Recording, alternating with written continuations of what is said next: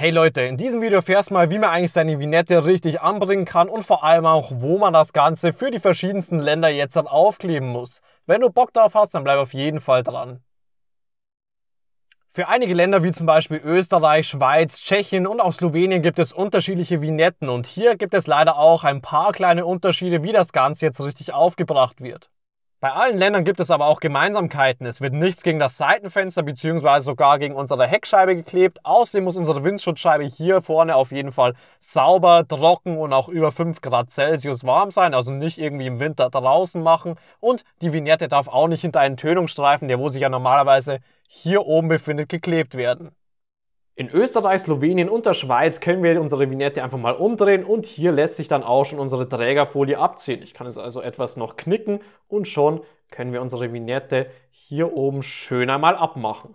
Diese kleben wir jetzt entweder links oben auf unserer Windschutzscheibe drauf oder was ich bevorzuge, direkt hinter unserem Spiegel, der wo sich ja auch schön mittig befindet.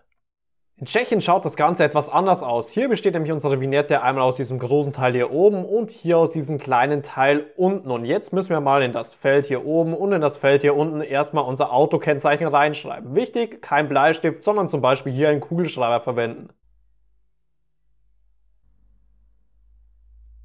Auch hier können wir das Ganze wieder schön knicken und dann einmal diese Folie hier abziehen, welche auch anschließend auf unsere Windschutzscheibe draufkommt und den unteren Teil jetzt auf keinen Fall wegschmeißen, sondern unbedingt aufheben, da wir diesen bei einer Kontrolle unbedingt vorzeigen müssen. Im Gegensatz zu den anderen Ländern kommt diese Vignette jetzt halt unten rechts an unsere Windschutzscheibe ran und somit haben wir das Ganze auch schon richtig angebracht. Wichtig ist, dass wenn du dir irgendwie unsicher bist, auf der Rückseite von diesen steht normalerweise auch nochmal eine kleine Anleitung drauf. Wenn du jetzt eine alte Vignette noch entfernen musst, dann geht das am besten mit einem speziellen Industriereiniger und so einem Ceranfeldschaber aus der Küche hier. Wenn du dir eins von diesen Produkten übrigens noch zulegen möchtest, dann einfach mal hier unten drunter in der Videobeschreibung auf den entsprechenden Link klicken und du kommst direkt zu den Produkten auf Amazon.